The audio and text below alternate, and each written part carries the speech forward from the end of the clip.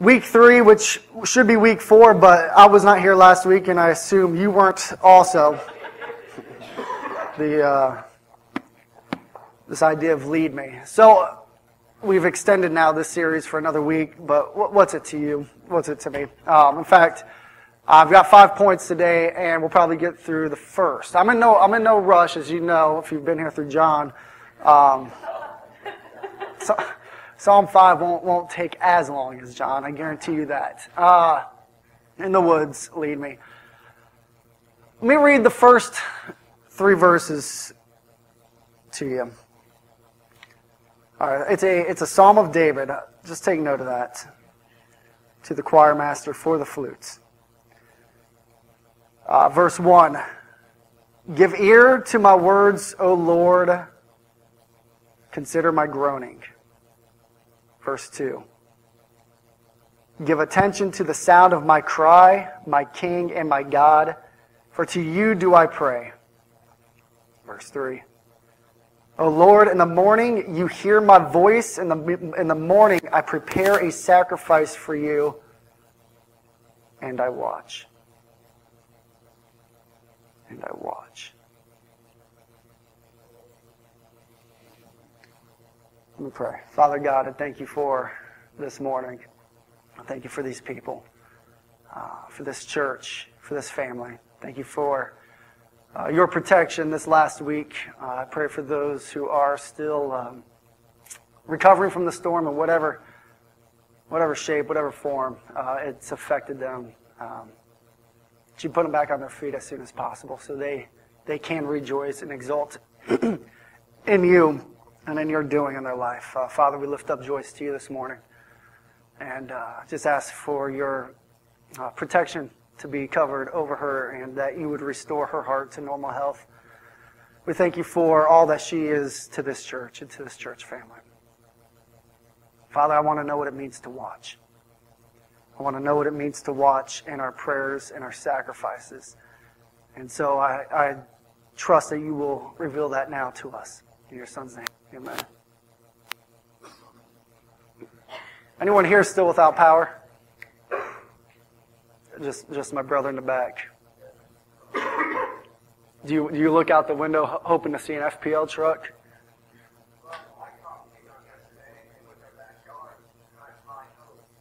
Wycom? That's your cable company? Or so So Wycom was like a uh, FPL company from. Say that again. Out of state company. And they looked at your they looked at your post and like, yeah, he's there's no hope.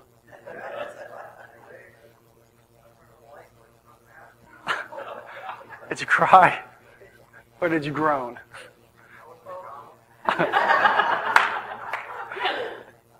and you probably went back to your living room window and just on the windowsill just watching for the next FPL truck or Wycom truck or. That's good, man. That's really good. So, everyone else with power? You'll survive. You'll be all right. It's just going to be. Say what? I got power. I'm gonna, and I'm going to utilize it. The, uh, I, I, I mean, everyone here lose power? Did anyone not lose power?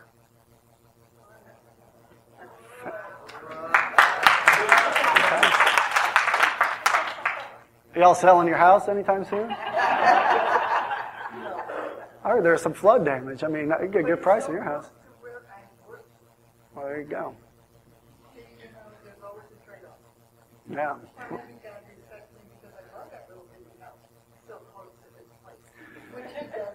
So then you don't.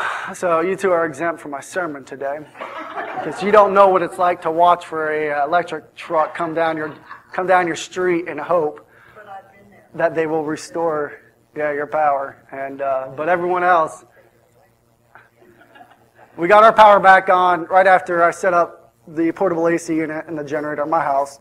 So that was that was nice. Um, it was a, you know, we, we pulled out the the RV um, and connected the generator up to it as a two three hour process just to find out our generator. My 30 amp plug is a 13 and a half amp uh, which allows you to plug a 30 amp plug into it. And my AC on my on my RV requires 13.6 amps. And so to run it for five minutes, pop off, run it for five minutes, pop off. So then we set up the house. You know, it was like a four or five hour deal. I went out to the church, check out the church to see shingles everywhere. By the way, Steve, thanks for cleaning up the shingles. I know you had nothing better to do.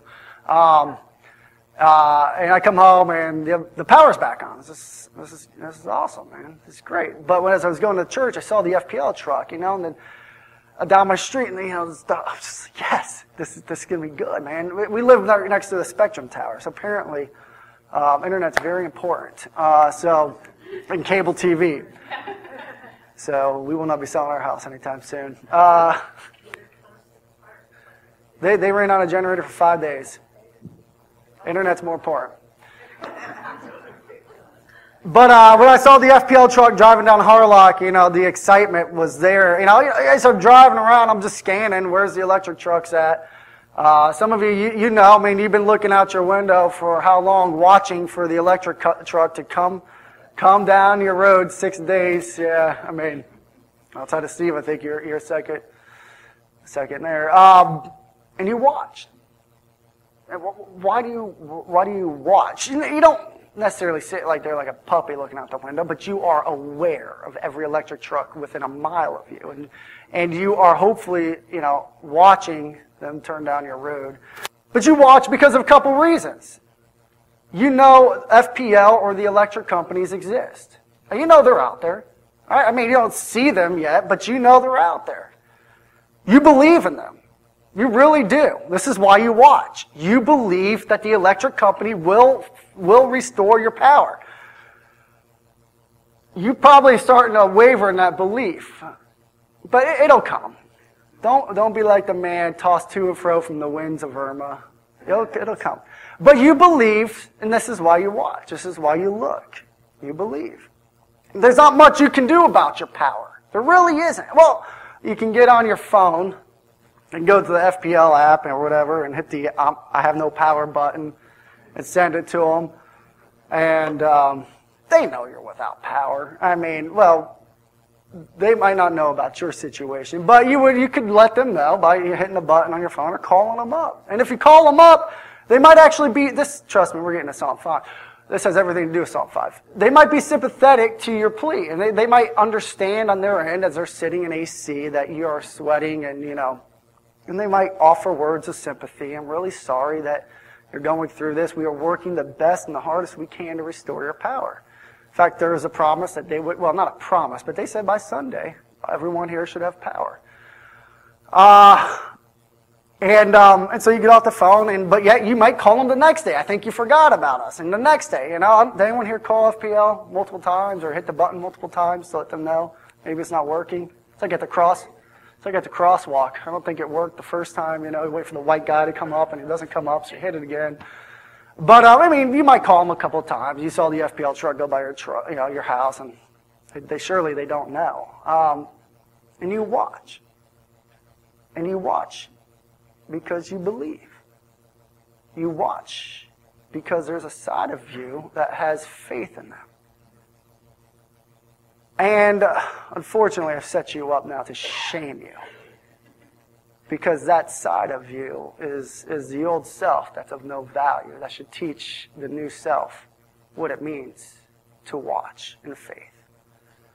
And I, I, I fear, or I guess I'm concerned, that you haven't been given enough truth or it hasn't percolated down deep within to the wellspring of life within you to, uh, to move you to a point of watching and believing like we did this week in FPL watching and believing what God will do in your life.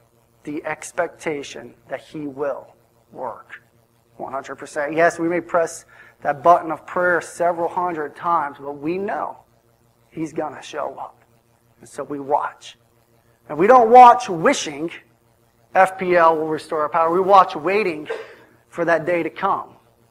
This is what, you know, the first three verses of Psalm 5 is referring to. And, and so let ourselves be a lesson to our new selves. This is, this is where I want to be. This is where I want you to be. As expectant as you were for your power to be restored, how much more so for the power of God to be, uh, to be made known in your life. And so David says he watches. I want to read through Psalm 5, you know, just one verse at a time. And uh, I want to take you down a path that is going to seem, uh, it's going to seem out there. Um, and I, because I want to show you an example of what it means to watch. We got, we got passages in the Bible, uh, be still and know that I am God. Um, well, here, watch. We, we, these passages that seem to indicate that, that we should stop moving in life, that we should wait upon the Lord and therefore become, become inactive. And these passages don't necessarily speak to the life that we're looking at here. You know, the stillness is not, although it could take shape in this life, the stillness, it happens, you know, within you. The watching happens within you. Uh, it's not the watching with these eyes, it's, it's the watching with the eyes of your new life. You know, so he, he starts off, David starts off, give ear. So I want, yeah, so I want to show you an example of what it means to watch, but you're to have to kind of open yourself up to see it. It's not, you hear the word watch and you picture yourself looking out the living room window watching for the FPL truck. And it's so much more than that. Give ear to my words, O Lord. So we just let's just start there. Give ears to my give ear to my words, O Lord. David says, "Look, God, I need you to listen to my words. I need you to listen to my words. Uh, my words are telling you that just something's just not right in my life. It's just not right. Give ear to my words, O Lord. You know, as we talk about the woods of life, life itself, um, I've heard multiple times, I don't have the answer to it. The question is, what is the will of God for my life? What, what should I do? What, what, what path do I take? What decision do I make? And guys, and I can't even box in these decisions by you know, health or, or buying a car, this or that. Every, you, you, uh, you're on a journey in this life that the Lord is directing, and you have multiple decisions to make every day. Big decisions, little decisions, decisions of how to react, decisions of you know, what you ought to do tomorrow. Which, which ones are the right ones? Which ones are not the right ones? Uh, which ones are, would lead you astray? Um, and the goal of today, which we will not get to today, lead me in your righteousness. Lead me in the ways that are right. Lead me to the right path, on the right path. But it starts, this, this leading starts with you acknowledging something. And here, well, we just start off with your words, acknowledging to God something's just not right. Your prayers acknowledge to God something is not right in my life. Now, I mean, our prayers can be full of rejoicing, thanksgiving, and whatnot, and, and our troubles and our persecution, which is what David is hitting here. Uh, he talks about his enemies. He's talking about his, um, you know, these, these people who are f- filled with lies and deceit. But he's turned to the Lord in prayer. Listen to my words. Listen to my words. In other words, he's saying, God, I'm trusting you right now. There's no one else I'm going to go to to give you these words of trouble in my life. And our words, they do reveal to us who we trust the most. Who, who do you direct your words to in your deepest hour of need? And that will, that will reveal to you who you trust in life. And God forbid that God is not in that picture. But David says, Give ear to my words, O Lord. But let's look at this. Look at the way this thing, uh, he, he structures this thing. Consider my groaning. The words, now he's talking about groaning, the murmurs of my heart. Those, those, those words I don't know how to say. My groanings. I don't know how to, to put it in words, God, but you, uh, you know what I'm saying. The groanings of a heart. The groanings of your life. You wake up and some of you, you the first sound is a groan. This is a groan of pain. Just getting out of bed. You know, prayer is so much more than just the uh, on the knees, folded hand, close your eyes in that dark closet for five hours. Prayer, I mean, this is prayer. My life is prayer. My, the Spirit praying continually on my behalf. And I can direct my words and those sounds that I don't even know how to turn into words towards the Lord. But a groan indicates uh, you're just not right. Yeah. So, something's off. You can't even really label what it is. Some of you, you know very well this week. Uh, I mean, we become dependent on electricity. And without AC, I mean, I didn't have it. I mean, I, I had AC pretty shortly after the storm, but there was some groaning. The first time it flickered, oh! Then it came back on, yeah! And it went back off, oh! Yeah! Um, words, groaning, then give attention to the sound of my cry. Now he's kind of at the heart of who he is. The cry being the, re- the revelation of his pain.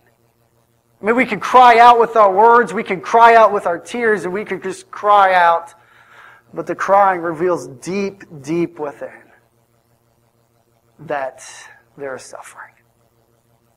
Words, groaning, crying out. You know, I've, I've tossed and turned on this all week and all last week. And what I'm left with is a mind that looks like the stage, just scattered leaves, scattered ideas. That there's really, you know, the zeroing in is kind of, you know, that's up to God today. But I've noticed that the way David structured this, I need you to follow me with, with this real quick. The words, the, the words kind of reveal what goes on in the mind. The groaning reveals what goes on in the heart. The cry, now that's the, I mean, that's the soul. And what David has done, he's shaped his prayer to be everything you are. The old man. And every noise that the old man can make. The old you, right? The you before you came to know the Lord as it cries out, as it groans out, as it words out to be made right. And it's all right. So what we want to do for a second is just take, take that old self and let's just kind of remove ourselves from ourselves for a moment, okay? Remove your new life from your old life, just for a moment. And let's take that old life that's crying out, that is groaning, that is is putting words out there for God to listen to. Let's lay them down on an, on an altar and let's just step back for a moment. And let's just listen to them. Just, listen. Listen to the suffering. Listen to the pain. I mean, David is the catalyst for David in this psalm is his enemies. Your catalyst probably something much different. And just, just watch Watch your old self for a moment as he lays there. And he can't even put words to his suffering. But he knows it's not, something's just not right. And this is why he's groaning. And this is why he's crying out. And this is why he's, he's talking. He needs to be made right. But righteousness is, is in him but he's not fully aware of that righteousness yet. But you're standing outside and, in you, you know it's all okay. I mean, there's a, there's a part of you that no, it's it, because you know the Lord, because your new birth, you know it's all okay. But there's a second side of you that also seems to not get it. Why does it still groan? Why does it still cry out? Why does it still suffer? Even though I know my Lord leads me in righteousness, even though I am the rightness, the righteousness of Christ, why does it groan? I need to make this distinction before we move on. Like I said, we're going, we're going to take a path through these, through the woods this morning that you may not get this morning, but maybe you just grab some nuggets and store it up here for later on in life where it might trickle down and, and nourish that new life in you. But we got to make the distinction that Paul makes. You have an old self and a new self. Jesus makes a new birth that, that is not born of man, but it's born of God. And it's the spirit, it's the life, the spirit of, of God himself is that spirit of new birth. Ezekiel makes it, you know, the dry bones, the dead bones come into life. It's all throughout scripture. You've got two selves. The self that's crying out, that's groaning, that is, that is indicating stuff is not right, is connected to the old self, though the new self knows it's all okay. It still groans. You still groan. I just okay. Are you are you following me? If I see, I just want if if you if you're not, that's fine. I, I want to lay this out as best as I can before I move forward. So, in John three, we go to John three real quick.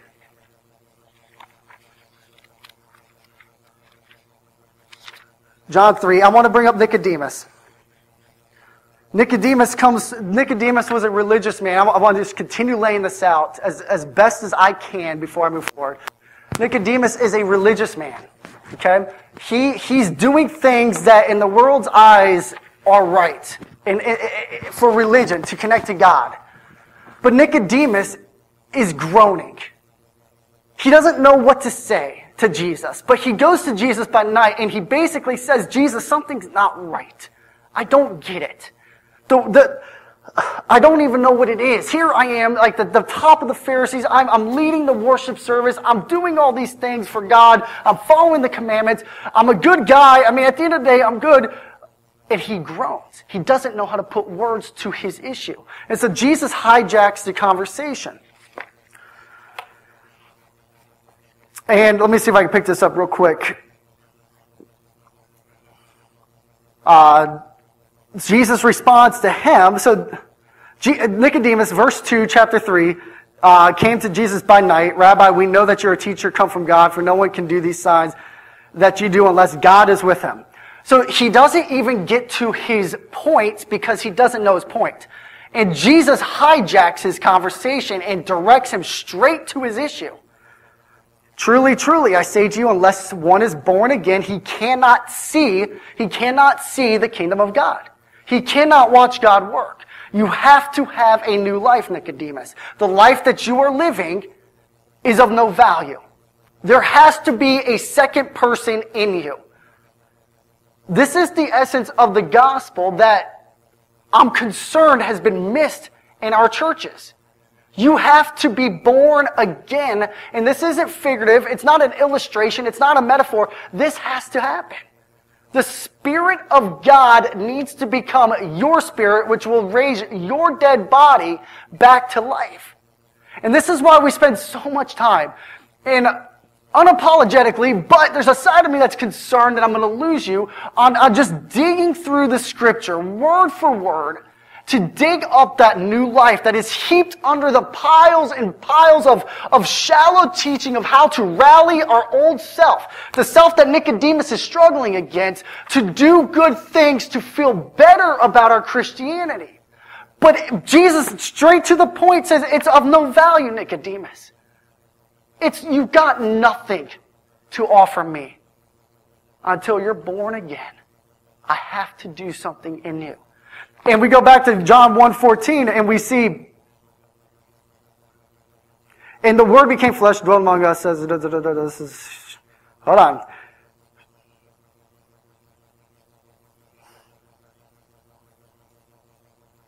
But to all who did not receive him, I'm sorry, verse 12, who believed in his name, he gave the right to become children of God.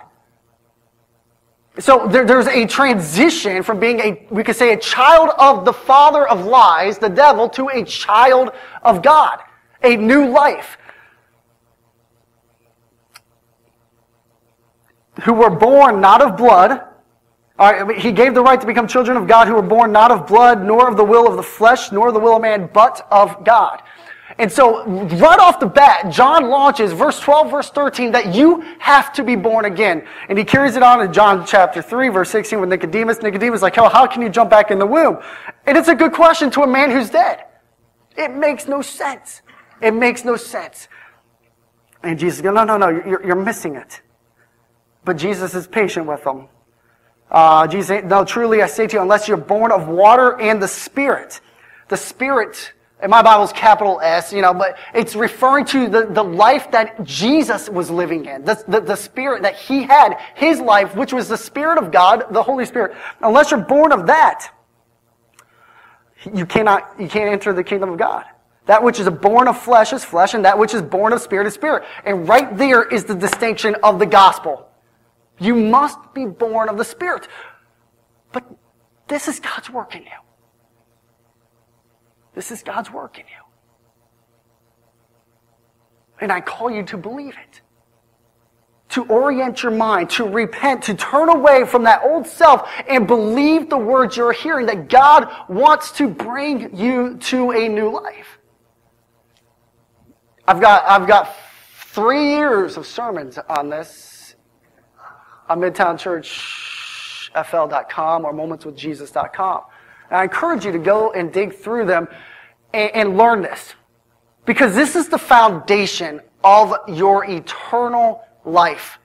This is the foundation that, that separates religion from, I don't even want to say relationship, I want, from unity. Uh, religion from your oneness with God, religion and your new life. There is a fine line of feeling good about your Christianity and being a child of God. And too many, too many focus on feeling good about their Christianity. I don't feel good about mine this morning. I'll be honest with you. It's been a long week. I don't feel good about mine right here, right now. But I, that has no eternal weight of how I feel about my Christianity and my behavior. What has eternal weight is what God feels about me. And read the end of Psalm 5, which hopefully we'll get to next week. And so here we are. This is where, this is where the, it sounds weird. I, I, I, I, will, I will say that. It sounds weird because it's foreign where I'm, be, I'm separating Hebrews. We read it two weeks ago, right? We, we, we cut to the, we cut the bone and marrow that the Word of God is living and active. Uh, anyone here got this memorized perfectly? Able to, to discern the thoughts. We'll, go, we'll get there. When it, when it hits here, I'm coming to it. But so here's what we're doing. We are dividing bone and marrow. The, uh, the heart and the soul. The old man and the new man. The new man is righteous. The new man is right. It doesn't groan. It knows it's okay. The new man doesn't cry out. It knows it's okay. But the new man is cloaked in a body of unrighteousness, with which in John, I believe chapter 14, the vine dresser said, Jesus says the vine dresser takes that old, the old vines, the branches, the old self and sets it outside the garden. So there's room for the new life to grow. And so if our focus remains upon our Christianity and how it appears in this world, the new life, it will never, it will never blossom until you, until, until you set aside the old man. And sometimes you have to do it every day. And so we have the old man on an altar. And he's growing, groaning and he's crying and, and he's wording, he's placing his words out there. And the new man, we've got him separated at the very moment. So you can see the distinction because you know, I know you know deep within, God's got this. It's all okay. But, but we bring the two men together and it's, it's, it's a battle.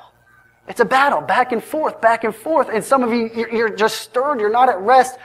And this is where we're going. And unfortunately, we're going to end it next week. Hopefully, He'll lead us into those right places, lead us in His righteousness so that we can live forever in the knowledge of our new self. And the old self can groan and cry and do his thing, and that's okay.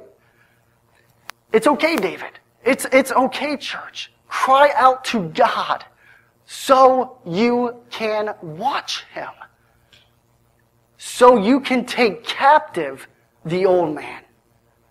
So you can put the old man into, into chains. And, and, and, to be honest, the old man is dead now. We don't even need to pay him any regard. But we have to because I know very well right here, right now, that He still affects me. And so we have tools such as prayer, groaning, and crying out.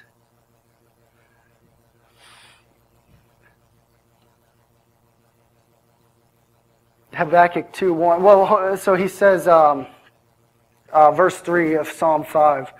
Oh Lord, in the morning you hear my voice. He acknowledges, he knows the Lord is guiding him. He acknowledges that the Lord is hearing these, these groans, the cries, the words. He acknowledges that he's okay. You see, you can see it in David, although in the Old Testament we don't have the words old self, new self. You can see the tension in him. I cry out, but I know you hear. Why, why do you cry out if you know he, if he's there, he's hearing? There's tension. And it's, it's okay. In the morning, he says, I prepare a sacrifice for you and watch. Which gets kind of weird for the psalm because the, the, the, the, words prepare a sacrifice could also mean I direct my prayers to you. The Hebrew is kind of loose there. You can, there's translations that use both. I prepare a sacrifice or I direct my prayers to you. And, but I want to say they both fit. They both work. Because my prayers to God is, uh, are, is me laying down myself to allow God to lead me. I'll use what the ESV uses, though sacrifice. I prepare my sacrifice for you and watch. And it's in the Old Testament time, you might think of a bowl on the, uh, you know, on the altar, you know, slicing the throat and, and letting the fire of God come and you just watch the sacrifice. But I think David's onto something much more. Uh, because Psalm 51, 17, uh, the, the sacrifices of God are a broken and contrite heart. See, David knew that the sacrifice of God is much more than, than what was laying on the altar. The sacrifice was himself. Romans 12, 1. Let me read this to you. I don't, because I don't want to butcher it. Paul says, I appeal to you, therefore, brothers, by the mercies of God, to present your bodies. Your bodies. He's referring to this member, he's referring to this man, to this flesh, as a living sacrifice, holy and acceptable to God, which is your spiritual worship. And then he goes in, do not be conformed to the, this world, but be transformed by the renewal of your mind, which is what we just basically were talking about. Nicodemus, he needed a new mind. He needed to be transformed. That by testing, you may discern, you may be able to watch and see the will of God. What is good and acceptable and perfect. Now we're back to Psalm 5. I prepare my sacrifice for you in the morning and I watch. I watch. I watch. You have, you have to lay yourself aside. You need to let yourself go. And you need to watch. You need to watch God work. This begins when you understand that you have control over absolutely nothing. You have no control over your next heartbeat. You have no control over yourself and making it home. You have no control over the relationships. You have no control over enough. I'll give you one thing your words to the Lord. You can control those. But outside of that, you have no control in this life. So Paul says, Here I am, a sacrifice, so I can know your will. How do you, but how do you watch? How do you watch? I mean, you can move on from the question, what is the will of God in my life? It doesn't, that question has paralyzed so many people in fear because they don't know the will of God and they're so afraid of making a bad or a wrong decision that they, they wait until all uncertainty is removed before they take the next step.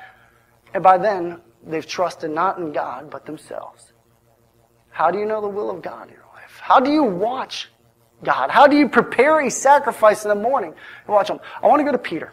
I want to go to Acts 1 and Peter. And I want to show you this, but in, in 10 minutes, I'm going to take you down a path that I'm going to just ask you just take the nuggets, take the passages, and bring them home.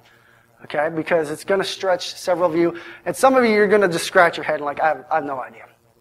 And then come talk, come talk to me. Because this is, could be a one-on-one at McDonald's or Taco Bell or wherever that's affordable and has power. Okay? But how, how, how do you watch? I'll just, I want to show you an example. There's not mechanics here that you're going to take. You're just, I want to show you an example. So you can begin renewing your mind and seeing this for yourself, that it can become yours. Not, not imitate the next guy, but that you can understand so you can begin to live in it. But I, I acknowledge and possibly over acknowledge the fact that I, I, it's going to require uh, some critical thinking on your part. There's a problem in Acts 1. We can't even begin the acts of the, of the apostles until we have solved this problem. There's only 11. There should be 12.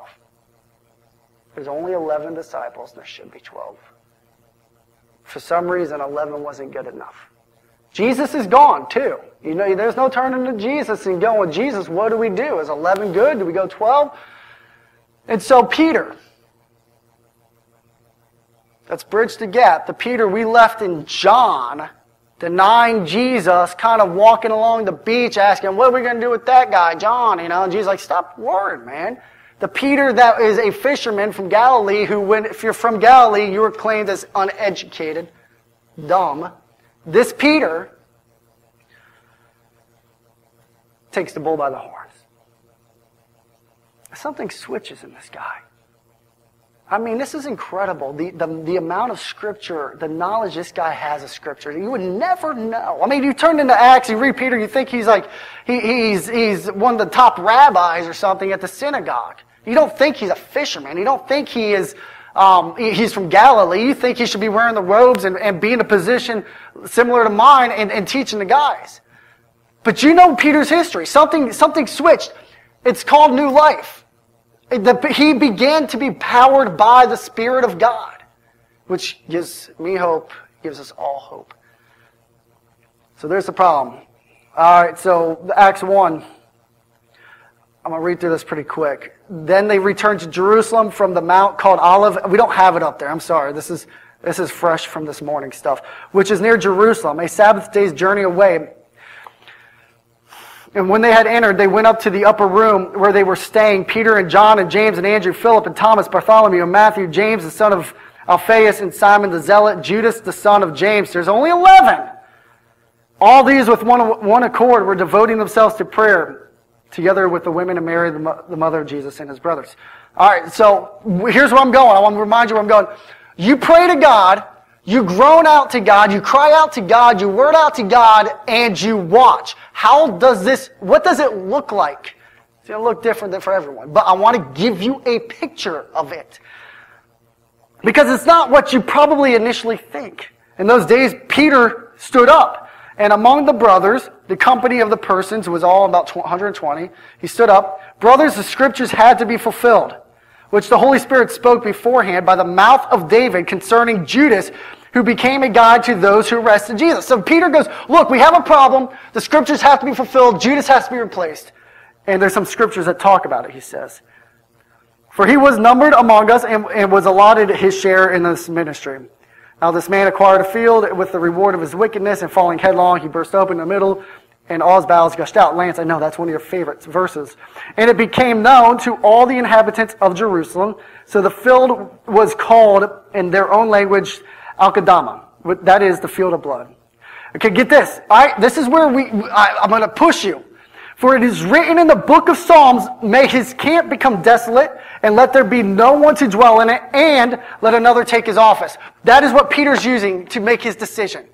Judas has to be replaced, and he says, uh, as, as the scriptures, uh, what's, what's his exact words?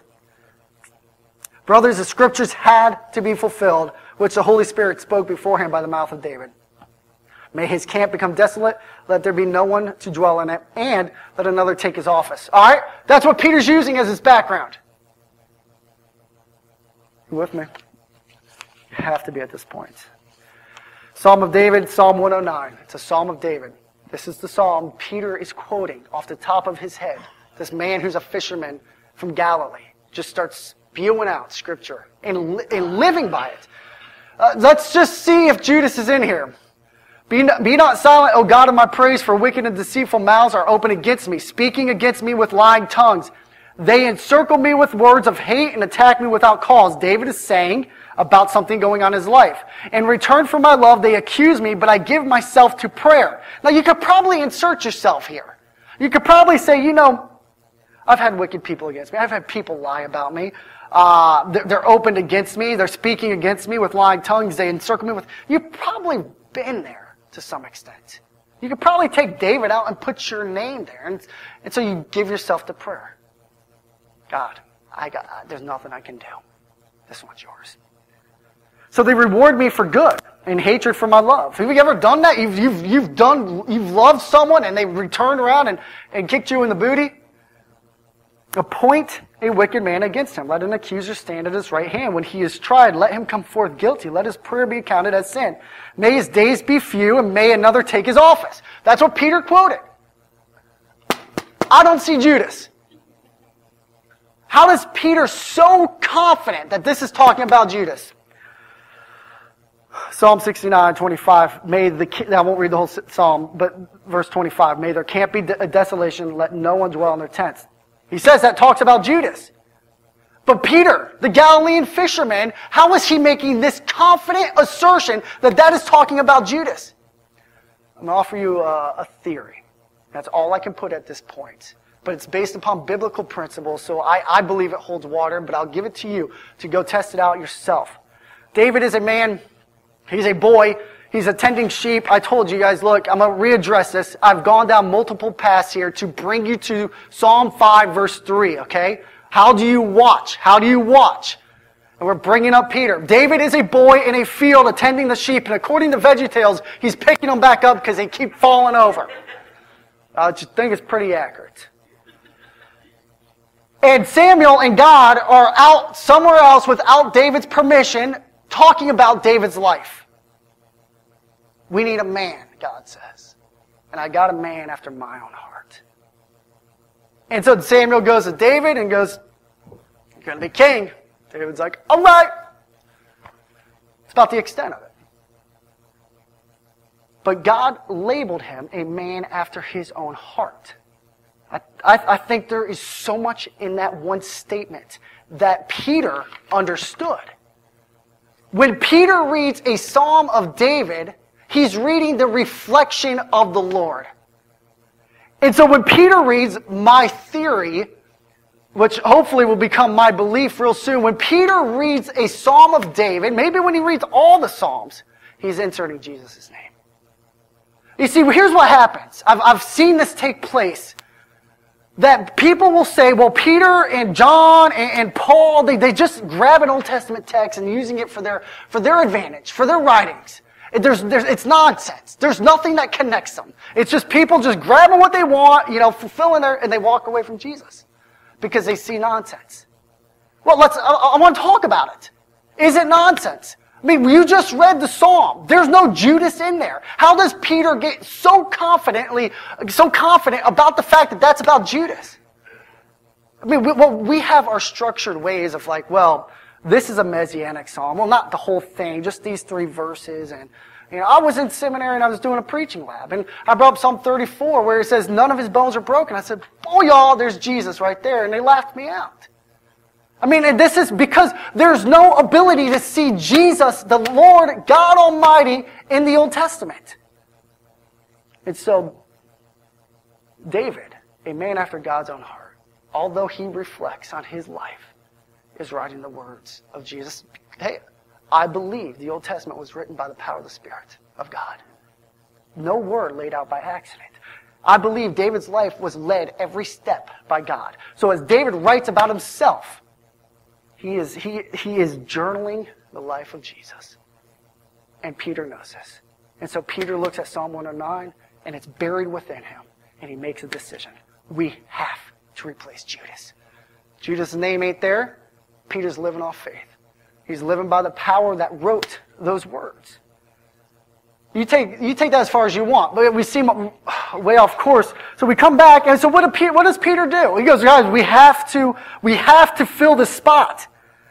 So one of the men, so one of the men who, who have accompanied us during all the time that the Lord Jesus went in and out among us. Uh, so Peter says, we have to pick a man who has followed us from day one. Beginning from the baptism of John until the day when he was taken from us. I'm at Acts 1, verse 22.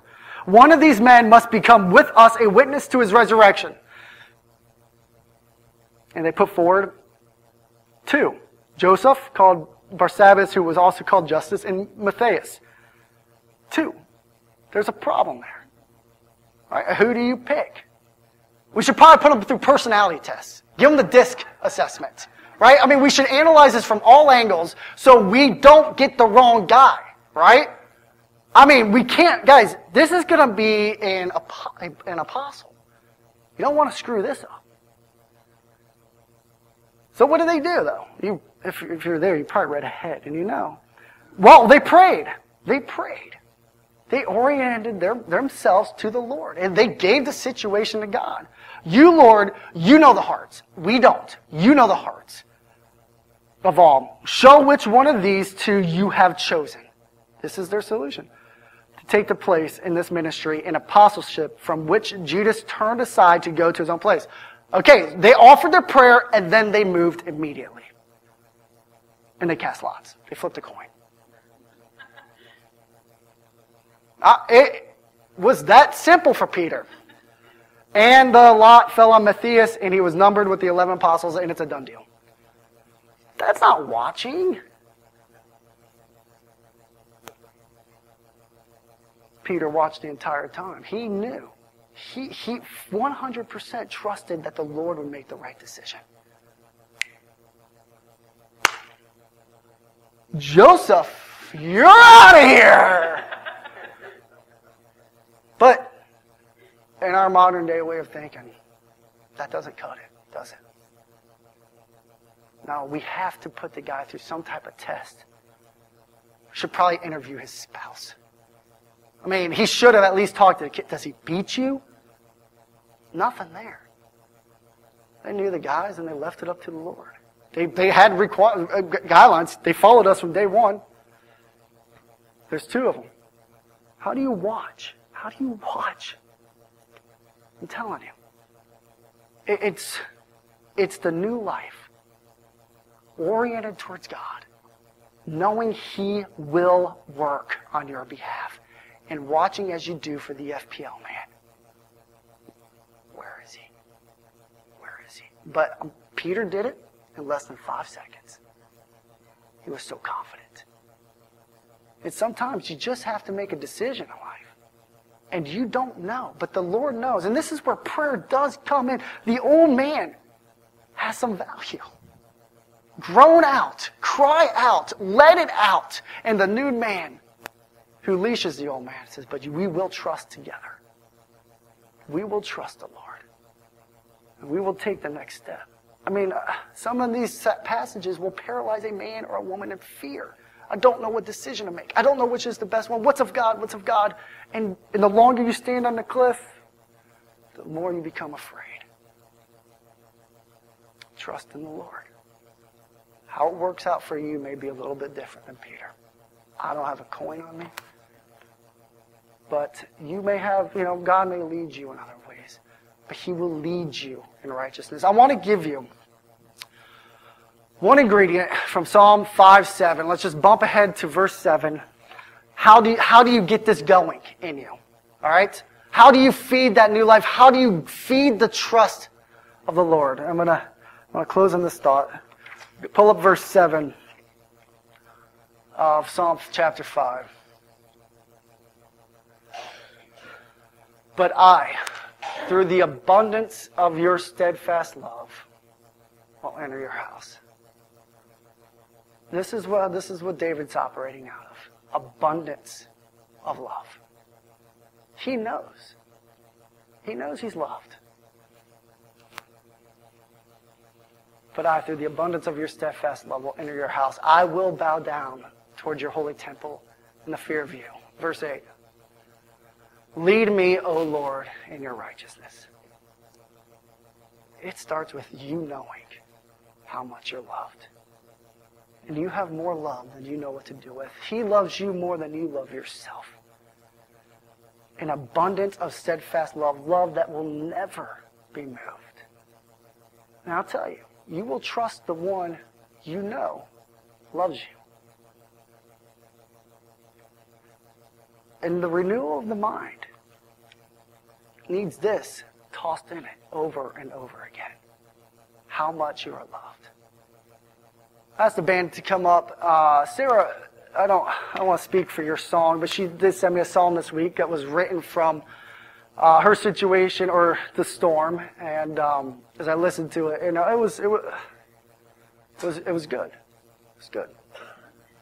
It's good. And um,